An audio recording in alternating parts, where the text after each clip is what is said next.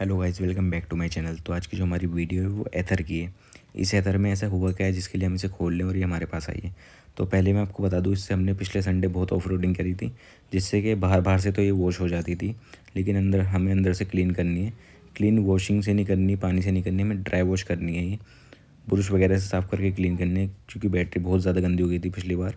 Next time भी हमने wash करा था, देख सकते हो कितना रस्ट आ गया इसके अंदर, और ये इसकी लिथियम बैटरी है। मतलब बहुत ज़्यादा गंदी हो गई अंदर से। देखो सारा पार्ट खोल लिया हमने। अब मैं इसका आगे का फ्रंट का पार्ट खोल के दिखलाता हूँ।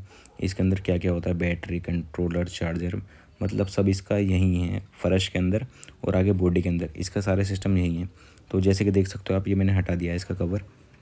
तो ये इसका बैटरी, कंट्रोलर, चार्जर वगैरह सब यही है। लिथियम बैटरी वगैरह देख सकते हो, किस तरीके से वार्निंग के निशान है ये सब। ये लॉक वगैरह मतलब पूरा पार्ट एक तरफ़ से मतलब बहुत ज़्यादा गंदा है ये। तो हम इसे अंदर से साफ़ करेंगे और इसका मेन स्टैंड भी मैं आपको दिखलाता हूँ। मेरे को वेल्डिंग करना है। ये देखो, ये रहा वो मेन स्टैंड जो कि टूट गया है, जिसके लिए हमारे पास ये आई है। तो ये वेल्डिंग करवाना है। वो वेल्डिंग इस तरीके से कराना है, कभी दोबारा ना टूटे। फ्यूचर में क्योंकि पहले भी करवाया था ये, पहले प्रॉब्लम आ गई थी तो पहले चेंज हो गया था। पर अब हम चेंज नहीं करेंगे क्योंकि इसका परमानेंट सोल्यूशन चाहिए हम। तो इसके लिए हम ये वेल्ड करेंगे हम। तो देख सकते हो, ये टूट गया है इसका ये पार्ट हम इसके अंदर ये वाला पार्ट लगाएँगे। ये हमने खुद बनाया है, इसको हम लगाएँगे स्पेसर है ये, भोगली।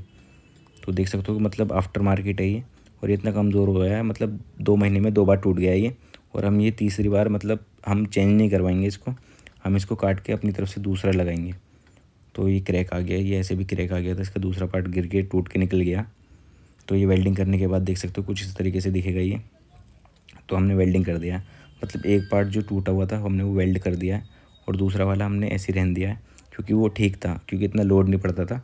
राइट साइड पे ज़्यादा लोड पड़ता है क्योंकि हम किक लगाते हैं, पैर से जो हम फोर्स करते हैं इसको तो उस वजह से टूट जाता है। अब हम इसके अंदर फिटिंग कर लेते हैं। देख सकते हो जैसे कि हमने फिटिंग कर लिया है मतलब अब ये ठीक तरीके से काम कर रहा है। अगर आपको वीडियो अच्छी लगी लाइक शेयर सब्सक्राइब कीजिएगा।